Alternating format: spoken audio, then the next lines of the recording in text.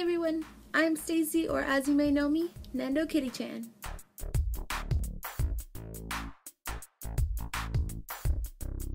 So for 2015, there really were a ton, I mean a ton of great figures, but for my personal list, I chose the 10 that I really liked. I tried not to add too many Mikus, and I don't really buy Figmas, so I decided to leave them out. I hope you enjoy though, and if you don't agree with some of my picks, that's a-okay. At number 10, the 1-7 scale Chitoge Kirisaki by Max Factory. And right now, you may be wondering why I picked this version over Alter's. And although Alter's version is very beautiful, colorful, and full of fun, her standard version always reminds me of how Chitoge's character really is. With a sassy smirk, open stance, and the right amount of pink on the tips of her hair. This figure is more accurate to the anime, thus triggering my love for this character. Her quality is spot on, and her hair has just enough splay to make me swoon. Though Onodera is best girl in my opinion, and I'm really hoping for a scale of her, my memories of Chitoge will have to do for now. At number 9, the Devil Homura Nendoroid.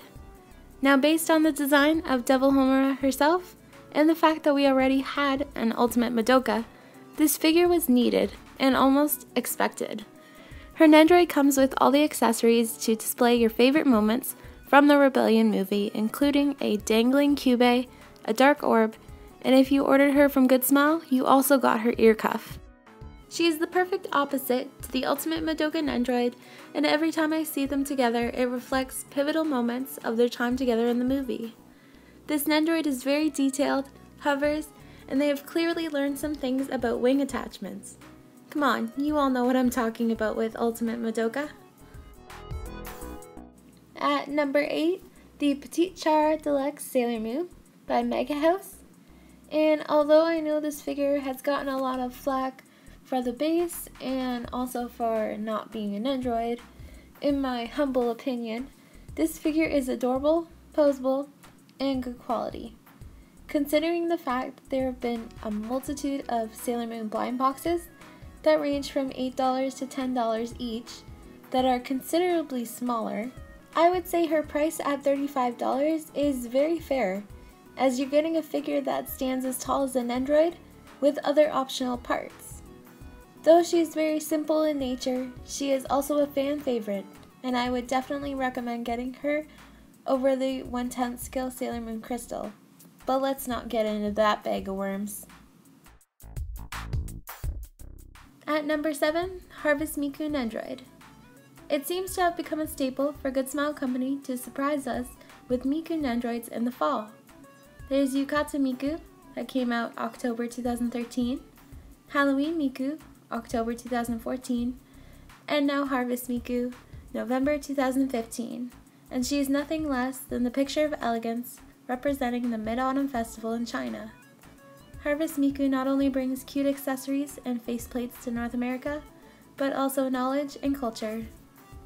At number 6, the 1-7 scale Cardcaptor Sakura by Kotobukiya. This figure is one that I'm very sad that I passed up at the time because she really grew on me and from reviews and pictures I've seen, she just looks so big with her wings and gorgeous with a ton of ruffles and details throughout her outfit. At first in the promo photos, her face was kind of throwing me off, but now I totally regret not getting her. For her size and quality, she is such a good price and such an amazing magical girl to have in the collection. At number 5, the 2-star Goku uniform Mako. Finally, Good Smile gave Kill la Kill fans what they wanted. Not only more Kill la Kill, but also more Mako. This is a figure that I don't think anyone was expecting, but everybody wanted.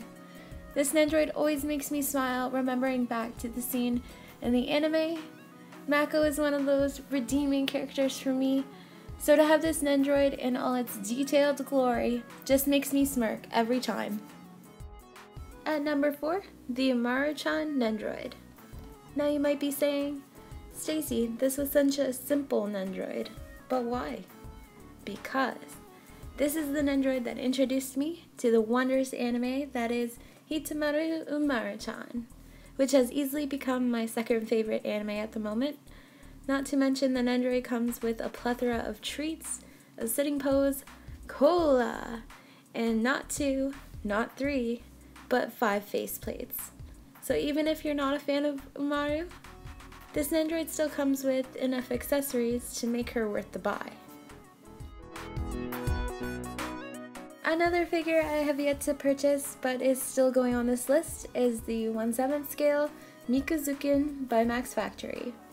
At first, I didn't see it as much else other than another Hatsune Miku scale, but her design quickly began to grow on me. I started seeing reviews and pictures of this adorable Miku in her Red Riding Hood-esque attire, and now I'm going to have to hunt for good prices in the aftermarket. Though I don't usually fall in love with figures, typically, unless they have that eccentric hair, this Miku is different. She looks as if to be a fun and well detailed figure that would surely compare with the rest of my collection. And coming in at number 2, we have the 1 8 scale Ciel Phantomhive by Kotobukiya. This figure was an insta-buy from the time I saw it, and if you're a Black Butler fan and either the old figures aren't enough for you, or the new ones are too pricey, real action heroes, then this is the perfect figure for you. It not only displays Ciel in his latest attire, but he also gets such an epic base.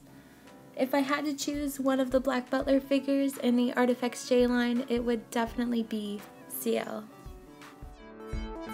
Coming in at number one, definitely my favorite figure for 2015, has to be the 1 7 scale Kotori by Alter.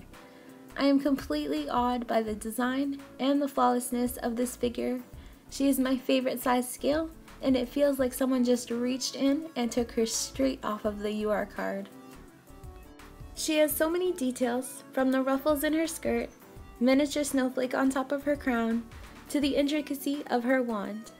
They even took the time to add subtle detailing, like sparkles and gold lining. Kotori not only makes Best Girl in my opinion, but also makes Best Figure 2015. So that concludes my top anime figures for 2015. I hope you enjoyed and I would highly suggest any of the figures I recommended in this video. You will not be disappointed.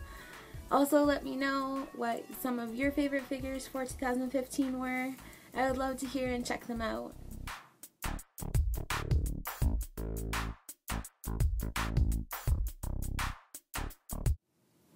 Say hi. Say hi.